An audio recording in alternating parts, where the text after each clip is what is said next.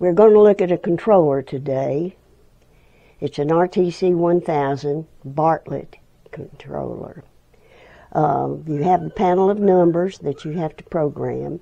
We're looking for a five-step program with four holes, hole times on it. Uh, we're going to look at the uh, controller now and then go to a graph.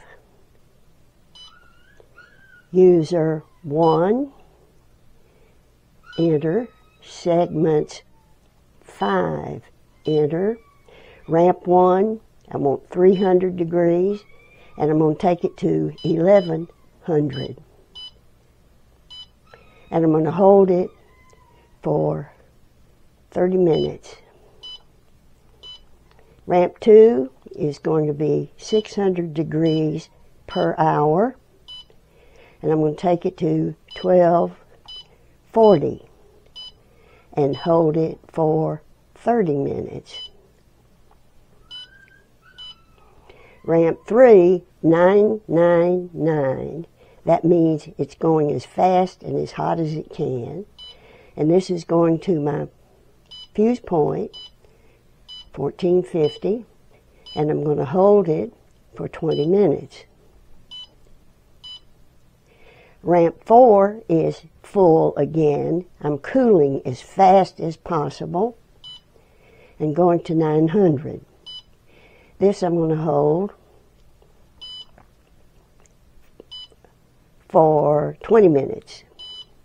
Ramp 5 is 150 degrees per hour down to 750. And then the kiln will turn off and have to cool to room temperature. And the total time is about eight hours that the kiln will be heating and cooling and the computer working. The rest of the time you have to just wait till it cools off. That's it on programming. All right. Here's the program that we just put in the kiln. It's five steps. The rate is 300 degrees per hour to 1100. We're going to hold it for 15 minutes. Two is 600 degrees per minute. We go to 1240 and hold it for 30 minutes. The third is full. Remember? 9999. And we go to 1450, which is our fusing point, and we're going to hold it for 20 minutes to get it to smooth out. Now it's time to cool.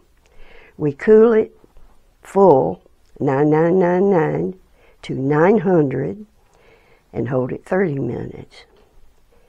The last step is the rate of 150 degrees per hour going to 750 and then the kiln turns off and we have to wait for it to cool. Now, significance.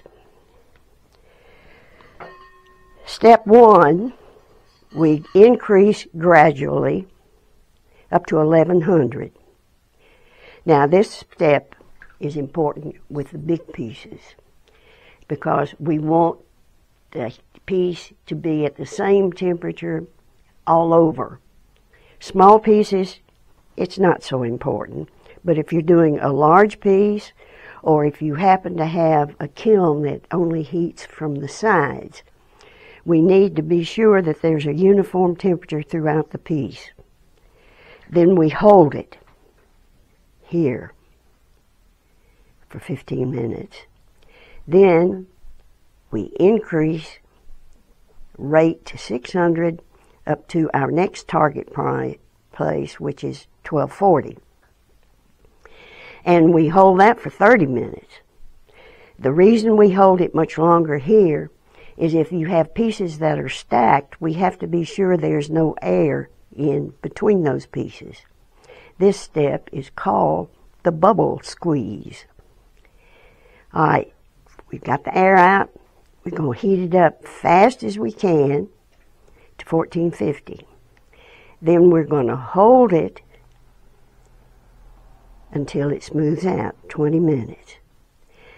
Fourth step, we come down here to 900. This is the annealing point. The glass is fluid up here. We've made all those molecules mobile. At the annealing point, we want them to go back where they were.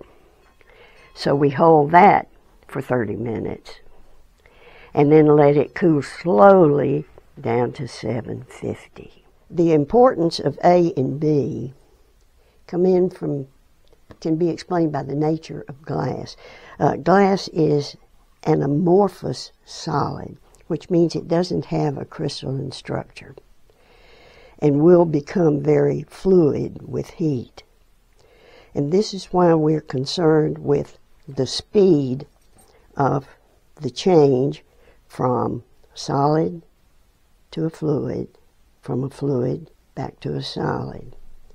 We want to go through that devitrification zone so that the glass has time for the molecules to change back to the way they started. Okay, that's it for your graph. Still, it's something you just have to do yourself to really understand it. Thanks for watching.